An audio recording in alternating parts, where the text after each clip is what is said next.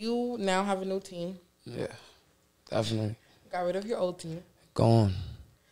I am curious to see how did you even get with the old team?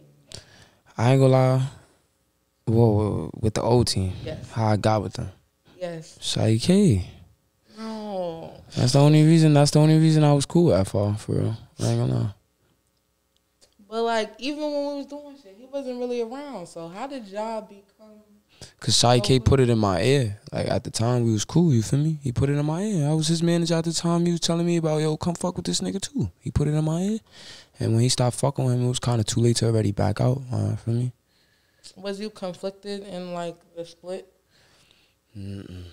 Nah, I was. I had nothing to do with none of that. None of his business.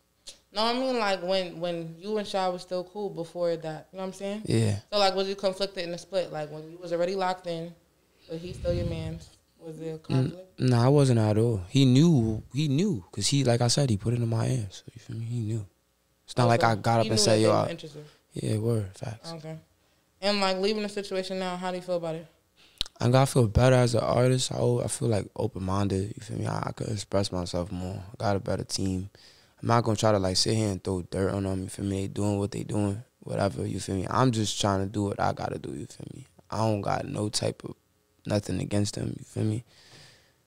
Bro, no, you feel me? We had a positive conversation when we like we cut off, we ended it there. It wasn't like we left on from like no beef shit. Like yo, when I see you, it's lit. Like I got problems with they artists. That's they artists. You feel me? They grown men, but you feel me?